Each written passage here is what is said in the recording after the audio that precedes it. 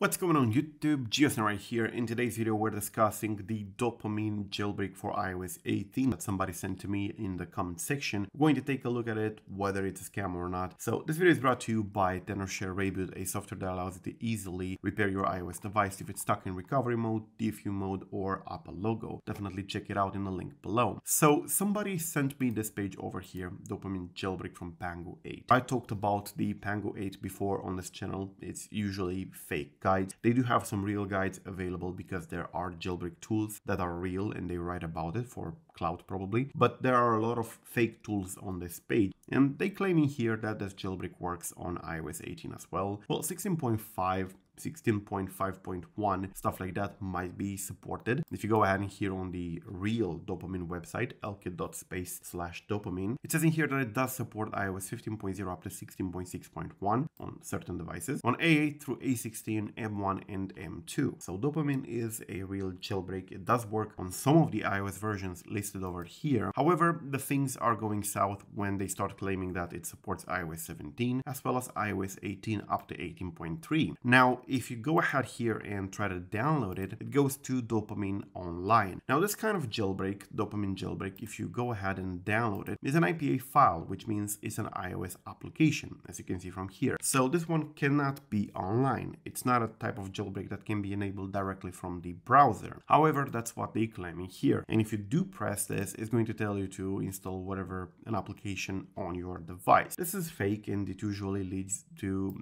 going either to a surveys page which is fake, or to installing an application that is completely fake. So, for example, Xylem Extractor or Cydia Reborn, Cydia 2, whatever. Those usually either advertise a paid plan, they tell you that you have to pay like $9.99 to jailbreak your device and you get nothing in return, or they are completely fake and filled with ads. So, what's the problem with this? Well, this website over here is one of the most highly ranking Pangu websites. So, Pangu used to be a real jailbreak back in the iOS 9 days, and a lot of people are still trusting the Pangu jailbreaks because they used to be untethered. They used to be pretty robust. Once you jailbreak once, the jailbreak would stick on the device and it will work flawlessly. So they built up quite a name for themselves. However, the Pangu team is no longer active, hasn't been active in many years, and a lot of fake websites are popping up with their name, including pangu8.com, which is an unofficial website containing a lot of fake guides. A Cydia download for iOS 17, 17.6.1. Well, Cydia hasn't worked for iOS since iOS 15. It's been broken since iOS 15, so there will be no way for you to get it for iOS 18, 17, 16, whatever. Here they are. They do have Cydia for iOS 18 through 18.3 beta, which is, as you can see over here, not Cydia. It's made to look like Cydia. Yeah, it does have the sources tab and many other fake things, but once you go ahead in there, you can see that nothing in here is actually legitimate. It's not Cydia, it's just some fake clone. However, they do ask you to pay for it once you install it. So that's essentially it. Do not get the dopamine jailbreak from here. If you do search for dopamine jailbreak, this is one of the first results, unfortunately, especially if you search for dopamine for iOS 18. But this one, it will very likely contain malware. And if it doesn't contain malware, it will actually ask for money and you don't get a jailbreak in return. There are a lot of people who are new in the community and don't know any better. But this kind of websites, although they pop up in search quite high, they're not legit. Now, the only jailbreak available for iOS 18 at the moment is